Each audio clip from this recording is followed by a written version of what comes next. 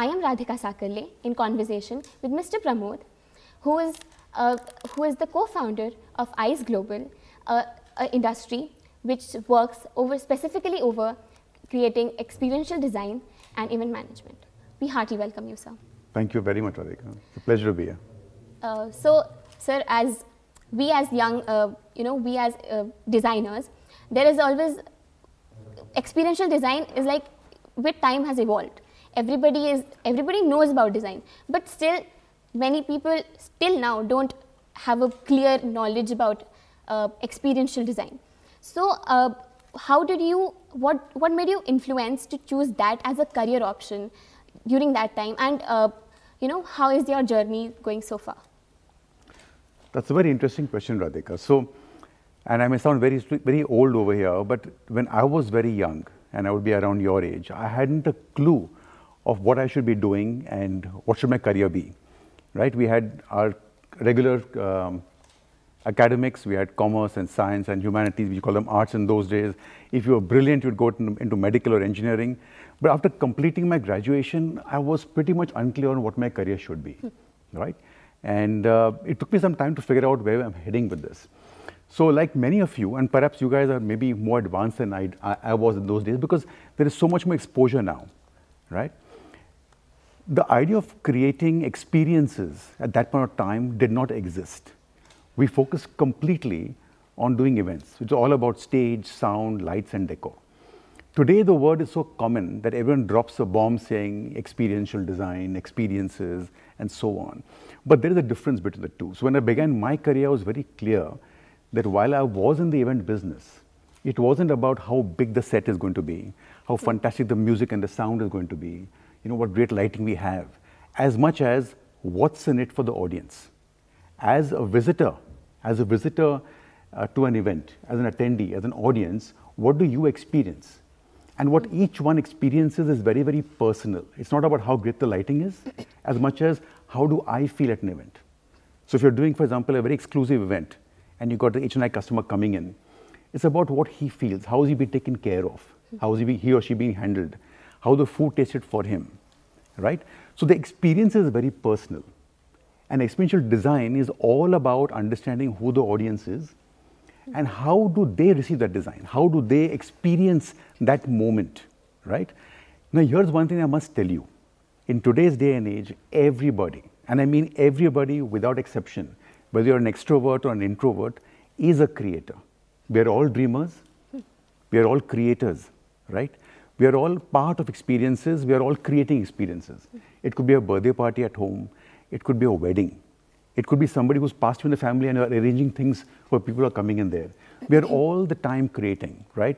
With telephony being so great today and cameras being so high end, everyone's creating videos, right? 28 megapixels, 48 megapixels is so common today because everyone's a creator and companies understand that people are creating content, putting content out over there. So today's journey is very unlike what it was 20, 30 years ago, right? At that time, it was pretty much new ground. We are crafting out a new space. These were words that no one understood. Today, the words are being dropped, yes, partially misunderstood, Radhika. But the fact is, everyone's a creator, right? So I would say to people today, saying that knowing that we are all dreamers, knowing that we are all creators. The question is, what do you want to put out there? Mm. What is the story you want to tell? Just because, for example, a person is in finance doesn't mean the person is not a creator. Finance is a story, mm. right? Marketing is a story. Anyone in HR, in industrial relation, is a story. We are all communicating. So the journey of experiential design has started many, many centuries ago, mm. right? It began around campfires and people dancing around telling stories it began with puppet shows. Yeah. That are all creating experiences. Today, for example, if you go to Wimbledon mm. in England, the experience is not just a game. It's about mm. eating strawberries and cream. Mm. It's a done thing, right? Hmm. Today, if you go for a large event, it's about the cuisine, it's about the smell, it's about the music. so experiential design is built into all of us. But if you choose this as a career, hmm. if you choose as a career, one has to know that these are very large fields today.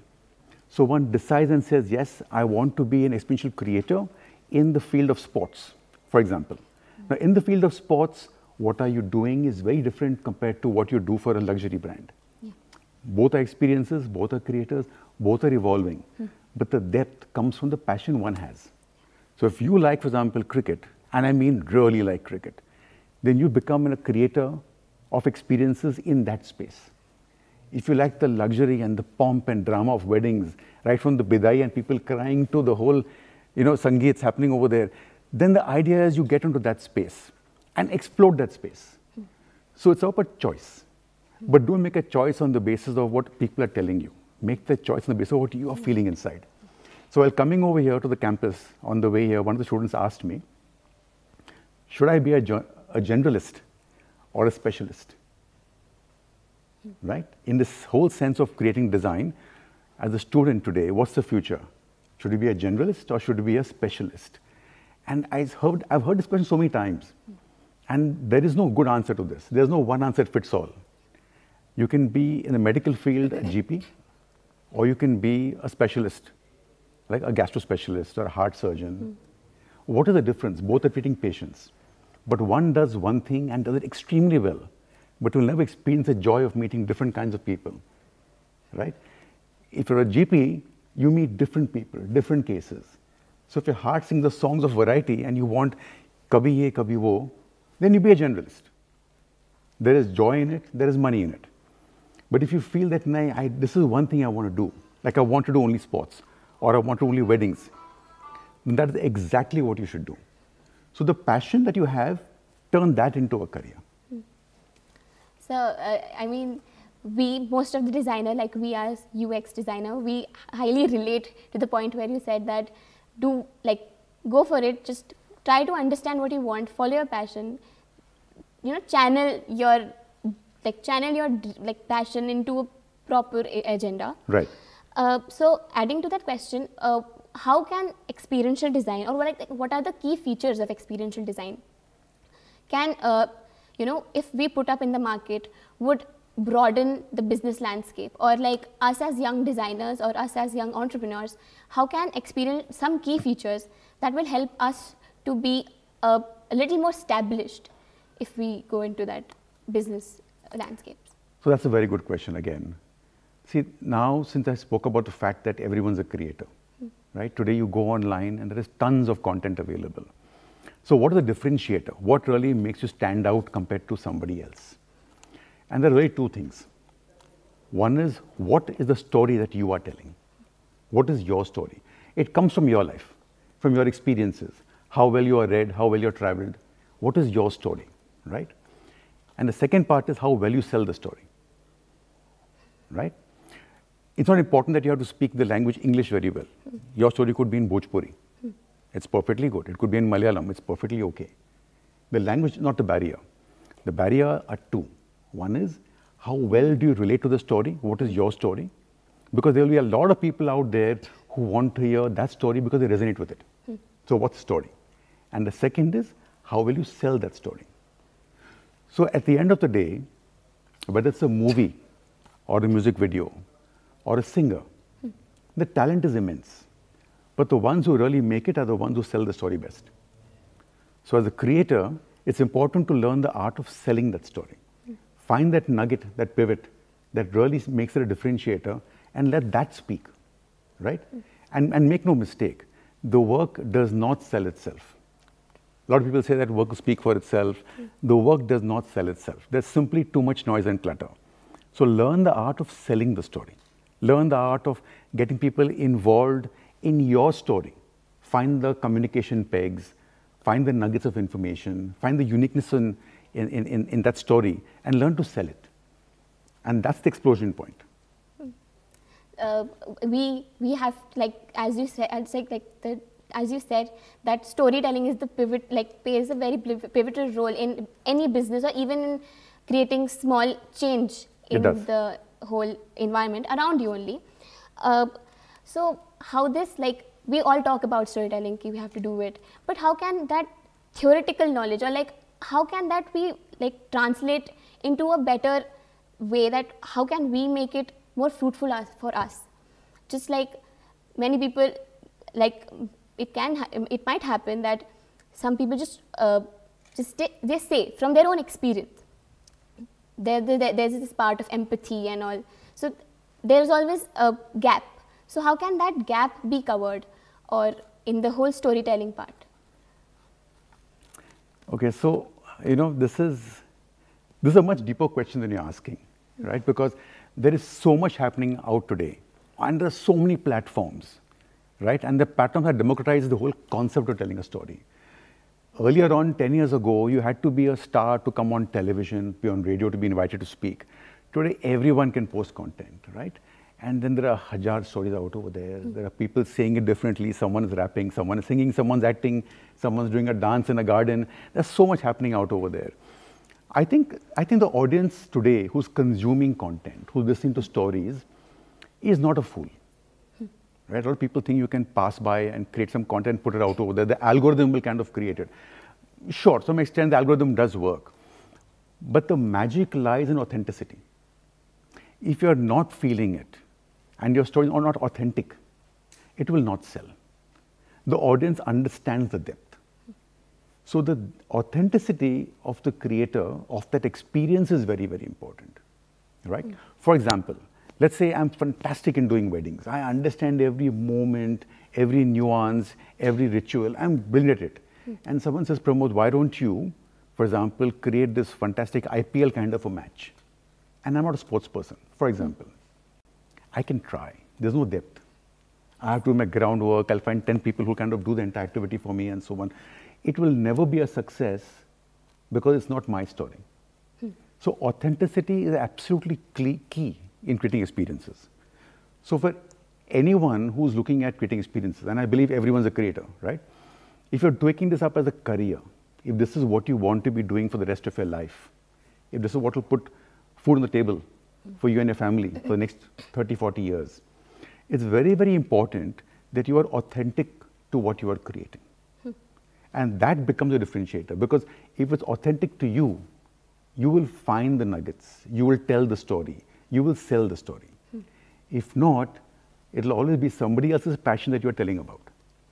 It's the, the difference is the difference is knowledge, which you can get from the books and videos, vis-a-vis experience.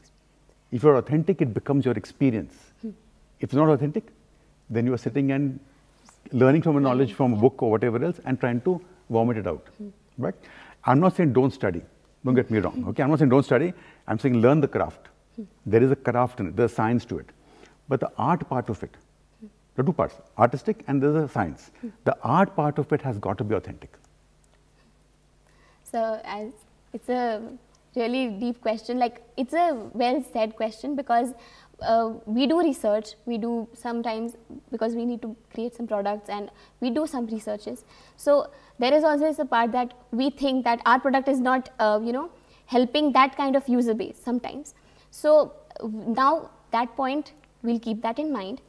Uh, just to sum it up with uh, one question that how these events like one of these events like BDF, uh, Bhopal Design Fest, how that how does this bridge a gap between or like between the industry and the academic, you know, and how it stands relevant to it? So I think I think uh, what JLU has done is really uh, has made design extremely relevant to the country today. Okay, I remember and I'm, I'm, I'm, taking a step back for a few years ago, pre-COVID, okay? And design and designing of experiences was, was, really the domain of the elite and the exclusive. Mm. We would do tremendous amount of exquisite experiences for brands like Mercedes, uh, Rolls-Royce. I've taken conferences of experiential design to Helsinki in December when it's really very cold. When the Finns are leaving Finland to get out because it's so cold, I took a contingent from India and went into Helsinki mm. because the concept was get out of your comfort zone, right? And we've taken uh, experiential concepts of events down to Milan, and we've done walking tours, museum tours, living museum tours, and discussions because we wanted companies to understand that there is a design concept behind the product. Mm. So, in the words of Anand Mahindra, for example, and his question to me at that point in time was, how do we, how do we get the CEOs and the C-suites of companies to understand that you cannot really own a product anymore. A car is a product, a generator is a product, A finance solution is a product. A product can be commoditized any point of time. Today we sell at one price, tomorrow some company will come at a lower price. It's a product. So the only thing that you can really own is the customer experience. The last mile delivery is the customer experience, and hence you see a flurry of activity happening with the Amazons and the and the Flipkarts and the Myntra because the last mile delivery is on those platforms, right? So what you really own is going to be the customer experience. And this is why we took his top 100 people and went to Milan to open people's minds out of the fact that you have to design an experience. So design isn't about the product, it's about the experience. Yes, sir. So it was a really insightful session for us and for many of like many of Thank my you. friends from my class. Uh, I highly relate to the first question, uh, first answer which, which you said that I was pretty much confused. मैं आगे क्या करेंगे? Because most of us is little dicey about it, but uh, it was a really insightful session, and I relate uh, very much to it. Thank you. Uh, with camera person Kush Adwani, I am Radhika Sakale. Keep watching Lake City Live.